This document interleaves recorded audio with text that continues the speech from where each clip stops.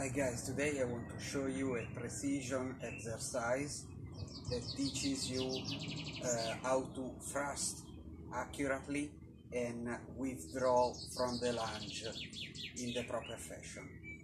All you need is a small sword and a thin barrel that is just a little bit broader than the tip of your small sword.